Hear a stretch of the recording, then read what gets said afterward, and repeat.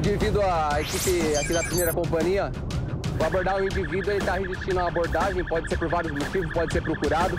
A equipe pediu apoio, a gente está se deslocando para lá para ajudar na abordagem.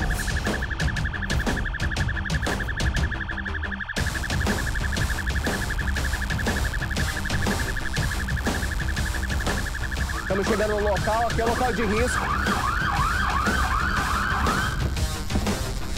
Vou apoiar aqui.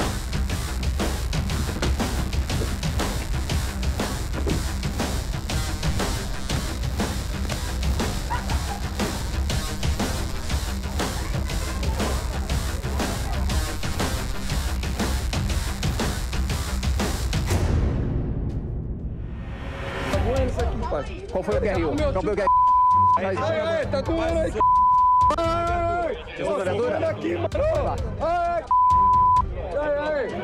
Vamos rápido, vamos rápido pra poder sair daqui logo. Afasta, afasta. Infelizmente, nesse tipo de abordagem, a ação costuma vir pra cima. Quando necessário, a gente tem que usar o uso da força. Dá espaço aí de trabalhar, dá espaço, dá espaço.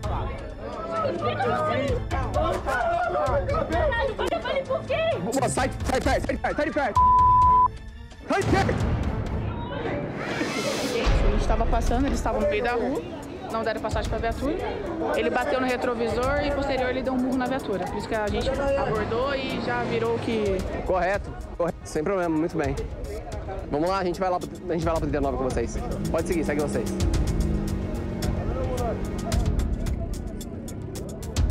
Vamos organizar as saídas dessa daqui agora.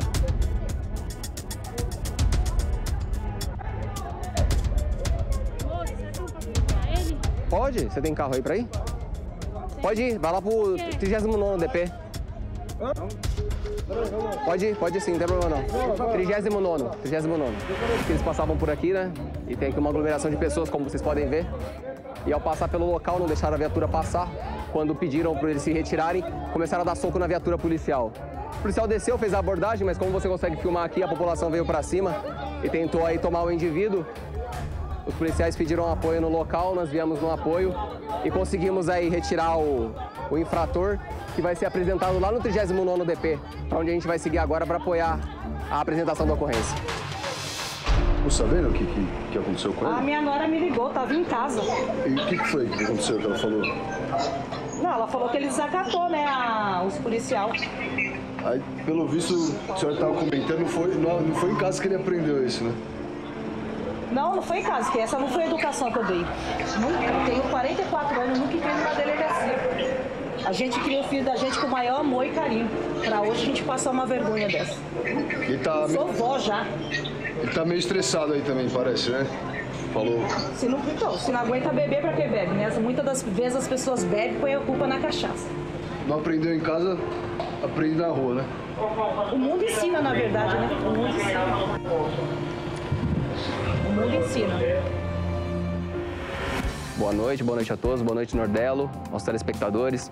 Bom, a equipe policial estava em patrulhamento pelo local ali perto do bairro Jova Rural. Patrulhamento de rotina, quando uma aglomeração de pessoas na via impediu a passagem da viatura, ou pelo menos tentou, né? Que foi o que a gente visualizou. O indivíduo não contente, a viatura policial passando, ele desferiu um chute, um soco na viatura policial. Os policiais desceram, realizaram a abordagem. O indivíduo resistiu à abordagem, desobedeceu os policiais, veio a desacatar a equipe. A equipe pediu apoio, a gente compareceu no apoio, prestamos lá a ajuda.